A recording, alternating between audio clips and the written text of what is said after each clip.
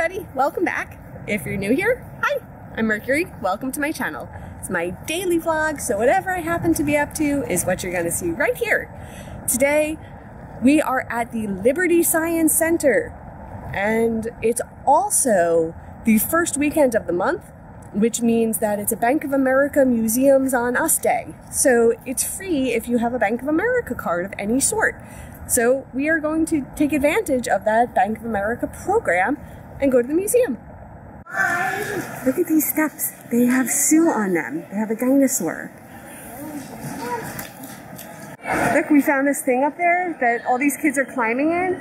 That's like hovering in the sky. Oh, Look at that. We found this thing with all these trumpets and, and you pump this thing and oh, let's see what happens. We're gonna take this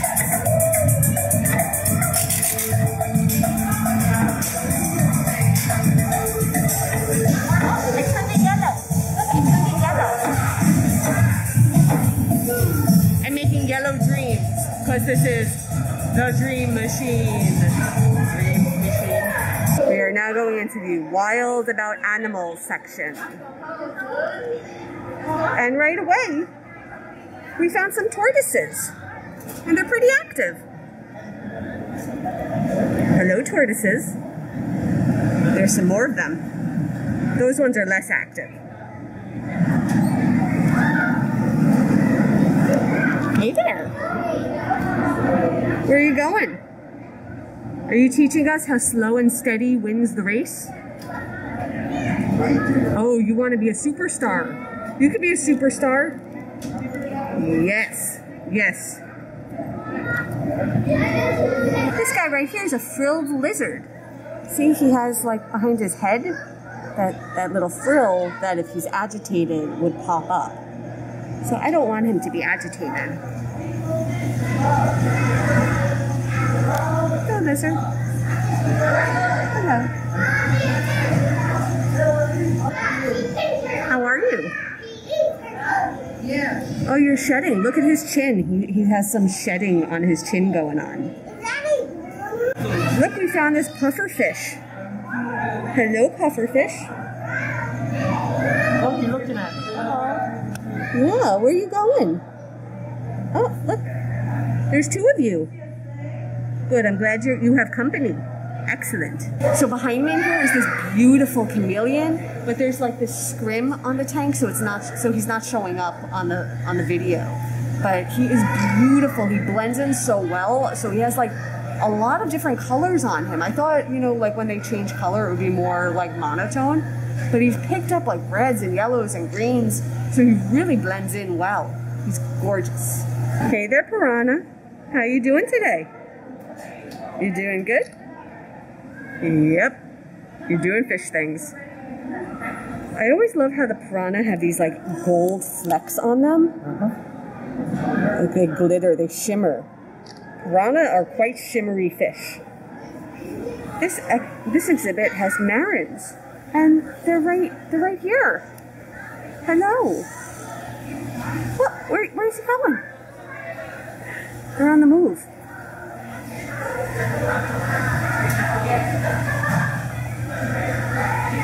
Hey there, tamarin. Hey. You're so adorable. This guy's showing me his butt. You're showing off your butt. Oh, hello. Hello.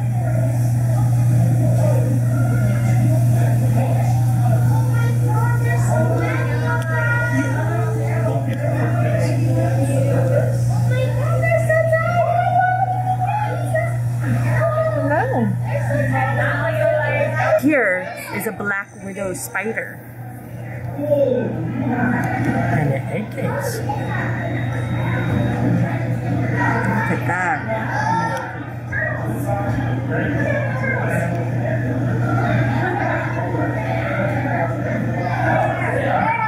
And you can see all the web that, that was spun.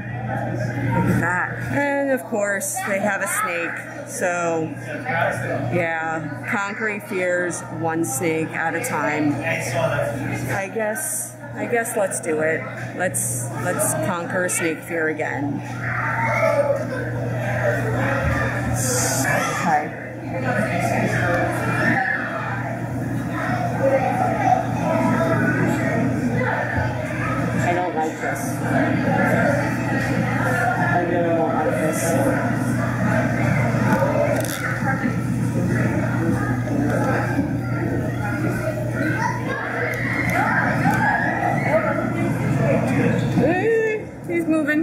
He knows I'm here.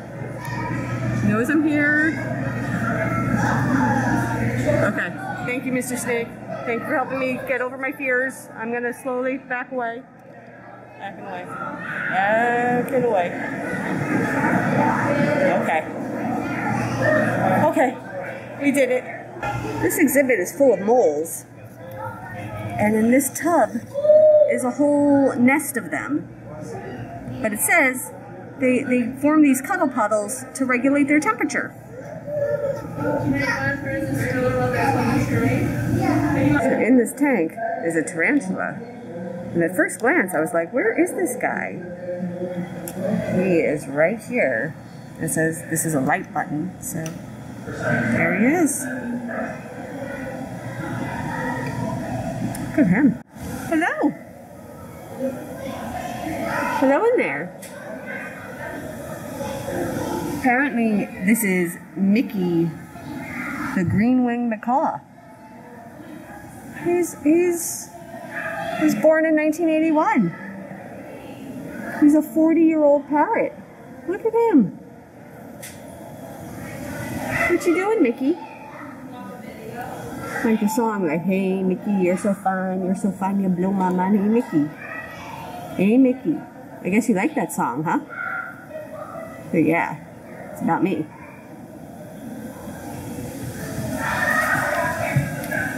Where you going?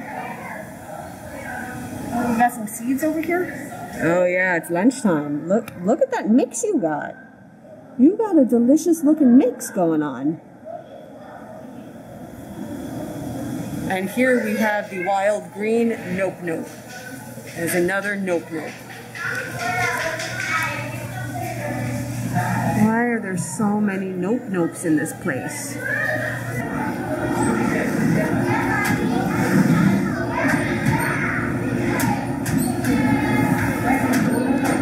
the clouds change in the middle?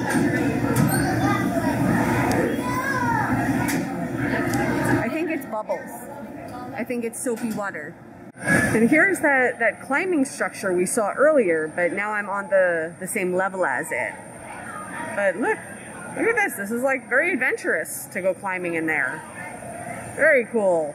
Snow skate. You can enjoy Liberty Science Center Snow Day every day. What does that mean? What does that mean?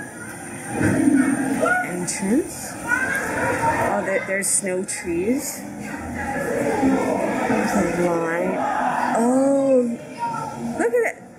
Wait, are, are they in socks? So I try to be careful not to film people's kids while I'm doing these videos, but it looks like what's going on in here is there is an, not an ice skating rink, but a sock skating rink.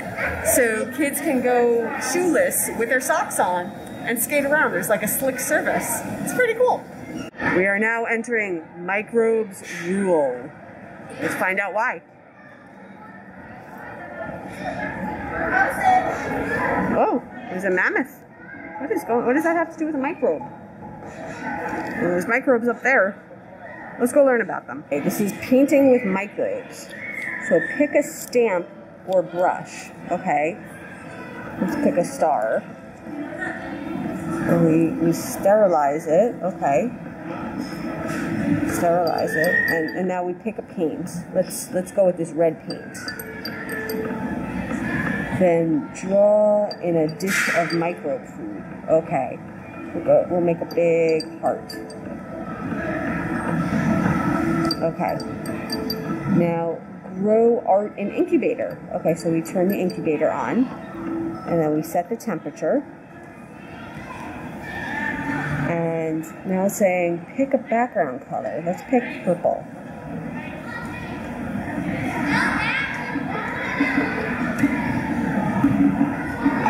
Okay, I guess that's my microbe art. So the microbe art is like a simulation if you were growing microbes in a petri dish, but putting them down in whatever pattern you want, so that they could be art. We have this giant woolly mammoth here. Let's see, some fun mammoth facts. Mammoth hair could grow three feet in length. Oh my gosh.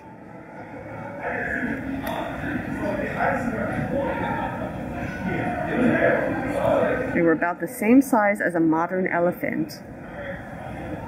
So over here, we have a whole hallway of pollinators. Look at all these pollinators of all different variety. Oh wow, that's a beautiful picture. Look at that pollinator. Wow. Oh look, you can see you can see all the little pollen bits. Look at them. I love pollinators.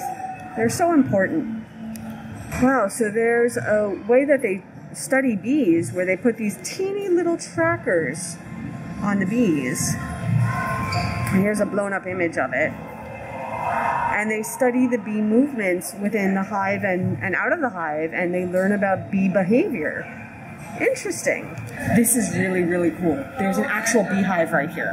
It has like real bees, real honey. There's a beehive, and they're, they're hard at work.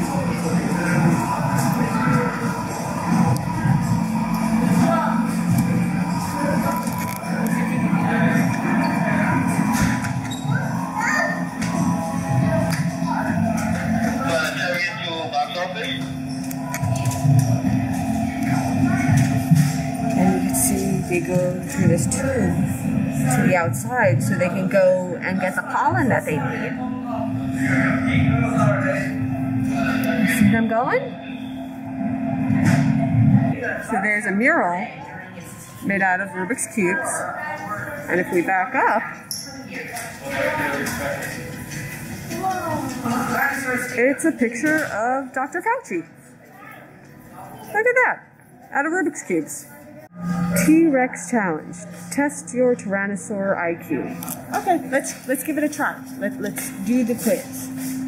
Okay. First question. T-Rex closest living relative is a chicken. I say yes. Ah, it's a dinosaur. It's true. It is true. Closest living relative is in fact a chicken. We can close that. Next one. T-Rex roared. I'm gonna say false because like a lion roars but a chicken clucks. So I'm gonna say false.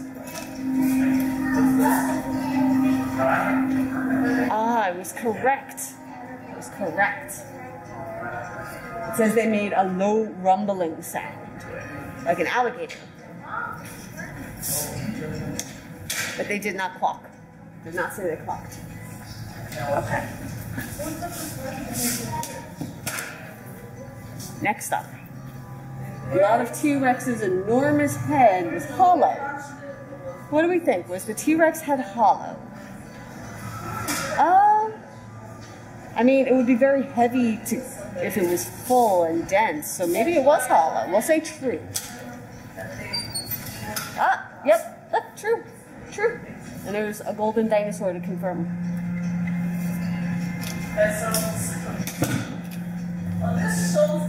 Okay. Next one. A T-Rex would have eaten about 200 stegosauruses during its lifetime. I mean, that's a lot of stegosauruses, but maybe, maybe, we'll, we'll say true. False. They never met. They were from different eras. One was Jurassic and one was Cretaceous. My bad. My bad. But I think it was a trick question. I think they were trying to get us on quantity and not time. Okay, next. A teen T Rex grew really fast. I'm gonna guess false. I'm gonna guess they grew younger than teen so that they could survive. Let's see. True. True. They say five pounds a day in their teens. That's, that's pretty quick. I don't want to gain five pounds a day. Oh my goodness. Oh my goodness. Okay. Last one. T Rex could have crushed the car with its mouth. Um, well, an alligator has some pretty good crushing power. I'm going to say true. I'm going to say true. And true it is. They had the crushing power. Look at that. Cool. He found a Lite-Brite. You found a Lite-Brite. So it's off until you turn it. And the more you turn it, that changes It changes changes colors color. Whatever you want the color to be. So instead of pegs, you just keep turning it. And you make pictures Look at this. by turning it. Yeah, I could play with this all day long. There we go. It's T Rex green. I did it. Energy quest. We're going to learn about energy.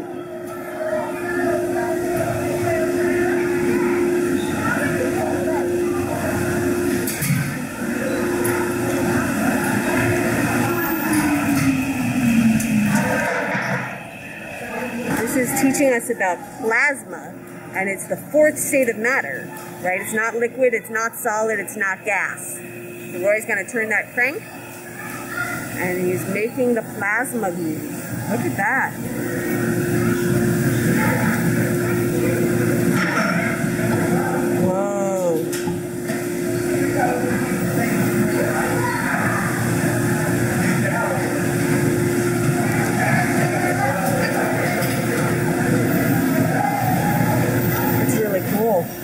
One is teaching us about radioactivity.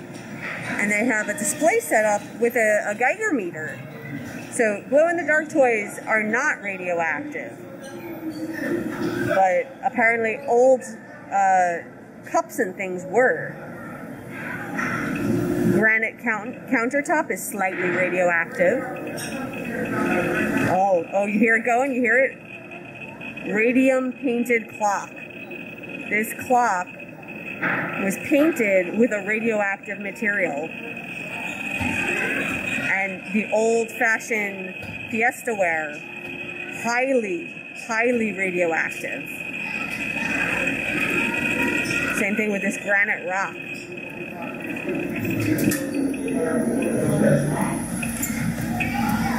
But the glow toy, not so much. There's an exhibit about things that are local to this area of New Jersey called our Hudson Home.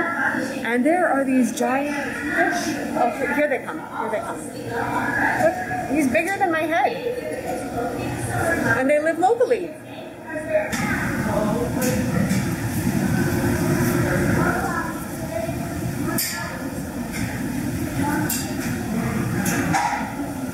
A big part of my job here feeding all the fish that we have. Uh, that includes making sure they have the right section here about the wetlands and a huge tank that's set up as an example of the wetlands. Let's look at these fish.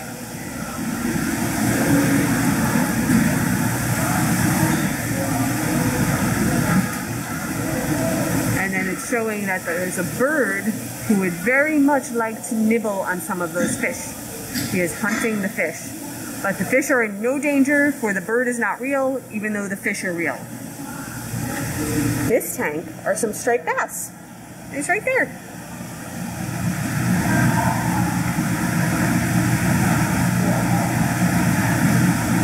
Let's go around the side. Oh, keep looking at this striped bass. Look at him.